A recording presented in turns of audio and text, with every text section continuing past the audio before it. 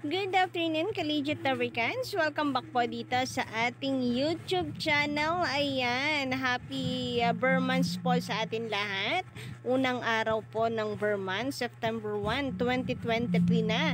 And then, uh, mukhang magandang pagpasok po ng Burman sa atin dahil ang taas po ng views ng TVJ. Yan nga po ating pag-uusapan ngayong araw dahil biruin niyo mga kapatid, nakaano po sila, 700 plus na views. Ganyan po kainit ang ating September ngayon.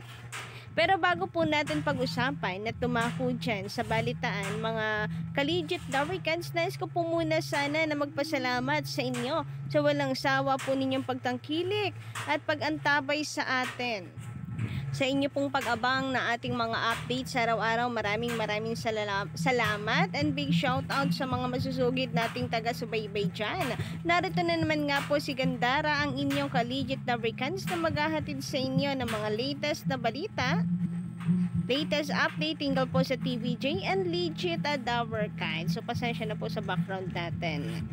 Kaya naman kung isa po kayo sa mga hindi pa nakaka-subscribe sa ating YouTube channel, please subscribe to our YouTube channel and click the notification bell. Nandyan po lang yan sa baba. Libre-libre lamang po yan. Lalo na kung uh, ah, TVJ updates po ang inyong hinahanap sapagkat basta may kinalaman po sa TVJ and Digit Dabrikan, sagot na po natin lahat yan at hindi po natin palalagpasin ang mga balitang yan. Kaya ano po iniintay nyo? Subscribe na po sa ating YouTube channel and thank you so much sa lahat ng narito ngayon na na nakikinig at nakikitambay sa ating munting uh, channel. Anyway, big shoutout po pala sa ating mga komentor, Sir Jeffrey Donato, uh, Jefferson Nato, shout out. Uh, Dermer Benitez, shout out na kung saan ang sabi po niya dito, Kantar, kantarantaduhan yan. Pinagsasabi ng mga yan, mahilig lang silang mangarap na sila ang number one. Ang fake balagta at showtime pero kahit anong sabihin nila para sa akin po, na isang legit at tunay na panatiko ng TVJ, alam na alam ko kung sino talaga ang number one at tunay na winner, ang EAT, TVJ and Dower Gods, especially Mayor Jose. So, thank you so much po no Sir Demer Benitez sa inyo pong komento. And agree naman po ako dito sa uh, huling bahagi ng inyong komento no na tayo po mga ka-legit the records. Uh, talagang legit pong panatiko ng TVJ. Alam natin kung sino talaga ang tunay na number one. Walang iba ang TVJ po yan at wala nang makakaagaw ng titulo pong yan pagdating sa hari ng tanghalian. Samantala, big shoutout din naman po dito kay Miss Soli Belen. Ayan. Legit lover ka sa Komula 1979 hanggang ngayon. TVJ Forever. Ganun din po ka dito kay Sir Yol. Uh, magandang hapon. Shout out sa inyo. Ganyan talaga. Gaya ng GMA palaging nagmamayabang kahit hindi maganda ang kanilang mga programa.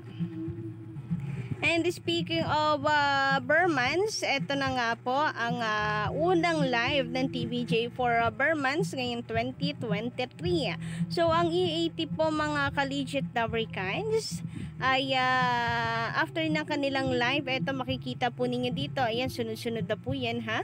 Ang E80 live on, ng TVJ sa TV5 nitong September 1 sa TV5 Philippines ay nakakuha ng 174 1,000 views. Ora-orada po yan.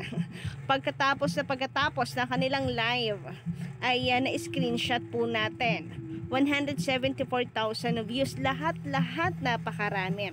Samantala ang TVG, ayan, uh, dumarami na rin po no? ang uh, total of views ng TVG official at uh, meron po itong 115,000 views. So, congratulations. Samantalang Kapamilya Channel at Showtime hindi pa rin po tapos mag-live. Uh, masyado tayong maagap mag-screenshot kasi baka bigla na naman pong mawala ang live ng EAP. Pero balikan na lamang po natin yan mamaya no kasi hindi pa tapos mag-live ang showtime. Kaya sa mga nagtataka dyan kung bakit marami pong uh, commercials ang showtime kasi mahaba po yung oras nila. Yun lang po yung tamang kasagutan doon. Minsan, lima, five gap, four gap ang nangyayari po sa kanilang commercials. Kasi ang tagal nga po inaabot yan ng 3.30 OMG Samantala ang Itbulaga naman ayan nakulelat po sila. Kasi ultimo dito man lang po sa Showtime eh.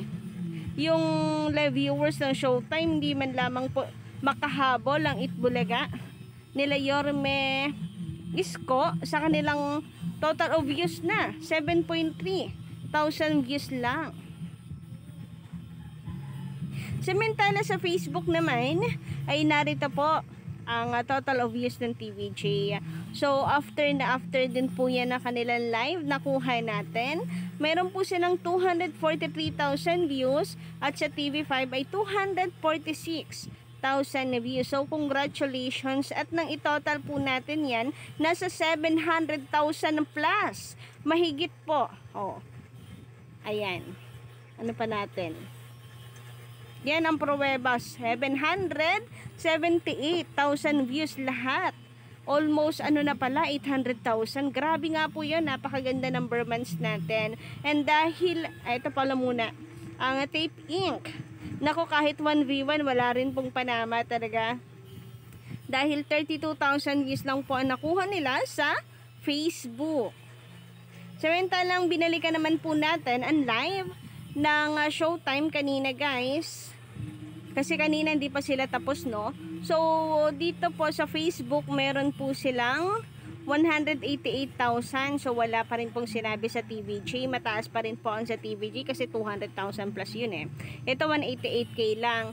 Then sa kanila pong YouTube ay meron po silang 147,000. Yan po yung YouTube nila.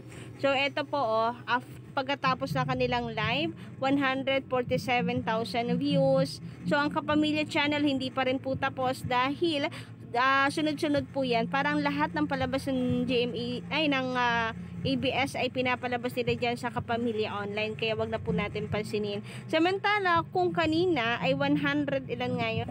174 ang uh, 174 ang TV5 Philippines nung hindi pa po tapos ang showtime ha? Ngayon po natapos na ang showtime agad-agad pong pumalo ng 232,000 views. So napakarami po na mga team replay natin dyan mga nasa abroad at mga bagong uwi ng trabaho no? Na ang dami from 100 ahem, ahem, ahem. From 174,000 views, uh, naging 232k. So, hindi pa yan kasama dun sa uh, almost 800,000 views. So, eto na. Dahil uh, pumalo po ng 232, malamang po niyan 800,000 views na ang total ng views ng TVG. Kaya naman congratulations at nilampaso na naman po ang kabila. Ang dalawang kalaban ng TVJ E80 show. Samantala, sabi naman is Fallen Angel sa kanyang komento, wala nakawala ang mga halusho sa BIR sa hindi tamang pagbabayad ng buwis. Dami na nilang mga pandodoktor sa buwis na dapat ibayad sa BIR. Managot sila soon. Uh, gumagalaw na ang BIR, sinisilip na sila. Pag nadali sila ng BIR, automatic na babalik ang title sa tunay na may-ari na question asked na. Sabi naman dito ni Sir Jonato Solano, magandang gabi. Magandarang gabi. Uh, go Echo, push mo yan. Opo nga eh, sana nga ay wag rin pumayag sa Echo na pati po yung konsepto ng uh, ah, EB Happy ay gayahin talaga at title lang yung baguhin. Dapat overall wag na. Kasi may karapatan si Echo dyan. Sabi naman ni Jonard Bernardo, Abinaraw, sorry. Sir uh, Jonard uh, Benaraw, magandang hapon. Shout out. Ang karma talaga di nagsasabi na darating. Totoo po yan. Mamamalayan mo na lang. Ay, uh, nandyan na. Hindi mo alam na ang karma eh parating na sa inyo. Kaya naman, uh, in general guys, tayo po ay uh, gumawa na mabuti para ang karma po darating din sa atin ay mabuti or good karma. Tulad ng asawa ko hindi nagsabi na aalis. Ay, yun lang. uh, sorry tayo dyan, Sir Jonald Benarao. So, yun lang po muna ng update natin ngayong gabi, Collegiate Tower Don't forget to click the subscribe button and notification bell for more updates.